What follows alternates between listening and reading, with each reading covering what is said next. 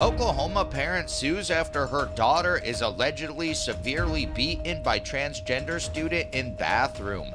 Let's dive into the details, shall we? An Oklahoma resident and mother is suing her local school district after her 15 year old daughter was allegedly severely beaten by a 17 year old transgender student in the girls' bathroom. The attack, according to the lawsuit filed May 25th, occurred at Edmond Memorial High School on October 26, 2022.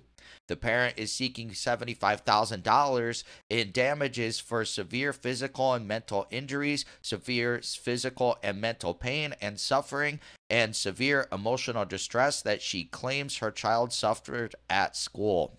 Yeah, it makes sense. That's crazy. The lawsuit also alleges that the transgender student had made previous threats of violence against the victim at school and was searched for weapons by police after his threats against the victim were reported by another student. Wow, and they just didn't even like make sure they didn't get together or anything, like interact. I mean, how can you? It's in the bathroom, right? Included in the lawsuit is a direct reference to a law Oklahoma Governor Kevin Stitt signed on May 25th that requires students at Oklahoma public schools use restrooms that match the sex listed on their birth certificates. According to the report filed after the alleged assault and obtained by Fox News Digital, the transgender student listed as Student A entered the restroom and spoke to a female student. Soon after the two started arguing with each other, a fight broke out.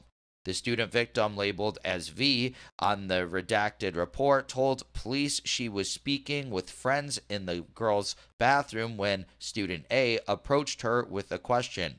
After telling A she didn't want to speak with her and why A became angry and asked if she wanted to fight before hitting her in the face. The alleged assailant continued to hit, kick, and pull student V's hair. Wow. V told police the strength of A's punches left her unable to fight back. One friend reported they tried to help, but they were also struck in the face twice. A witness said they worried about their friend because the assailant was a man. Well, I mean, even if it wasn't, wow, that's just crazy. All this stuff is just, the violence is crazy. Police observed one victim had injured injuries to her eye, face, and head with a possible concussion. Edmond Police School Superintendent Angela Grunewald spoke out publicly after the incident in a video posted to YouTube in December. You may ask yourself, how can that happen? Grunewald said it's hard to explain, but if a parent comes in and enrolls their child as a certain gender, and when you look at the child by all social norms, they look and present themselves as that gender, it's not something that you would question, she added. I wonder if that's actually true. How, like, feminine this transgender person actually looks. Grunewald also addressed the confusion around the transgender student's birth certificate, as the police originally found that there was no gender listed on the transgender student's birth certificate. How's that so, I wonder? Also, in high school, birth certificates are not required to start school, so there was no birth certificate in the student's file at the time to verify one way or another, Grunewald said. A spokesperson for Edmond School District told Fox News Digital that it is the practice of the district not to comment on ongoing litigation. In May, Oklahoma agreed not to enforce a ban on sex reassignment surgeries and care for minors. That stuff's crazy. That I think the transgender bathroom thing's just going backwards because you have stuff like this.